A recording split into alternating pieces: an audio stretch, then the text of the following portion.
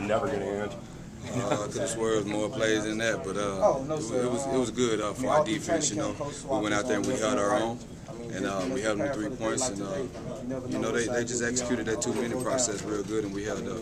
Or just being prepared. I, I, everybody's saying um, didn't really feel like a big sigh of relief. What does it feel like just getting a win, just kind of getting back, you know, in good graces? Uh, it felt good, but we're, we're, we're, excuse we're an organization that, that's used to winning around here, so we can't get complacent with one win against uh, a division rival, which it was. But, uh, we just take, we, of course, we're going to use this momentum going to the rest of the season, but we're not we, we're not complacent though. You had your last three games at home. Now you got to go on the road. How are you going to take what you did today on the road? Uh, we're going to use this win for motivation on the road. You know, it's a West Coast game. leave early, and it's going to be a long trip. You know, you need all, all the momentum you can you can get it going into the season. That was a great uh, Tampa Bay team we faced today. No matter what the record say, and uh, we needed it, man. You, you guys got some really good rush against the pass today. What were you doing differently today that you hadn't done previously to get executing the play and wrapping up? You know, uh, we missed a few tackles in the past, and that was our emphasis going into the game is uh, wrapping up on the tackle. We got pressure to the young quarterback. We just finished that. That was even better.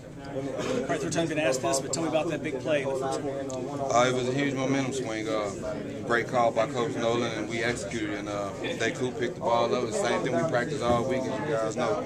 Uh, we, we, finished. It was a great job. How does it feel now? We talked two weeks ago. Very different feeling. Yeah. Kind of get get this off your back, come back, and the fourth quarter come up strong.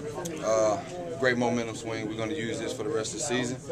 And, you know, we definitely wanted to come back after the bye week. That was one of the things we stated, you know, we had that terrible feeling uh, a few weeks ago. And we showed up today. Well, we played a team game today. It felt like a more of a, a swagger, more confidence. No is that fair? Is that fair? No doubt about it. It's the attitude, man. I'm talking about from the defensive side. And, uh, you know, you got to get hats off to, you know, guys like Harry Douglas. Despite all the injuries we had, he stepped up. You know, he played ball. You Drew Davis. You got to you got to get them guys props too, man. What was it like having Nolan on the sideline today? It was huge. Uh, you know, he, he notified us throughout the week, so it wasn't a surprise. And uh, he saw some things that you barely can see from upstairs, and he got the call. He, he, he see the personnel that they bringing on the field. He got the call in quick. So does it make a difference actually be able to like look at them and make communication no with them? No doubt about it. You know, like I said, they like to bring personnel. One time they brought him in late, and you know, luckily Nolan's on the sideline and get the right defense on the field. Wow, so that's something you like to see go forward? Hopefully? Uh, I don't know what he planned on doing in the future, but I, I like it over there. You know, it's great momentum. Uh, he, he came over to celebrate it with us for a few plays, and I, I like him down there. Thanks.